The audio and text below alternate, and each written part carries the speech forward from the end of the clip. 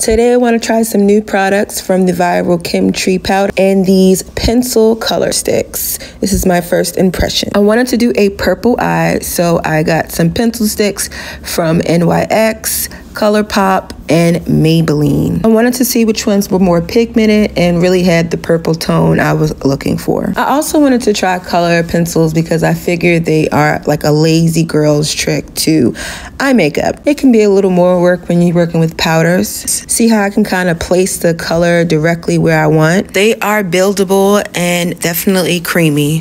I think my favorite one was the ColourPop ones. They just were really pigmented. Okay, now let's try this Viral Kimchi and see if it's worth all the hype. I definitely say she is definitely finely milled, a really creamy, nice, but uh, you know, thicker texture. It has a really good blurring effect, and that's what we're looking for. I use the color almond mixed with a little bit of banana. I think next time I'm just gonna do the almond. It is a really flawless coverage. Now I'm going in with the ColourPop highlight pencil in Angel. It is such a pretty highlight color. I think it's perfect for any complexion. Doing a little bit of recontouring with the ColourPop chocolate pencil because the kimchi powder was not playing. This Seal It Makeup spray is everything you need to get it if you want to seal in your makeup look, whether it's every day, but going out, photo shoots, whatever, it does the job.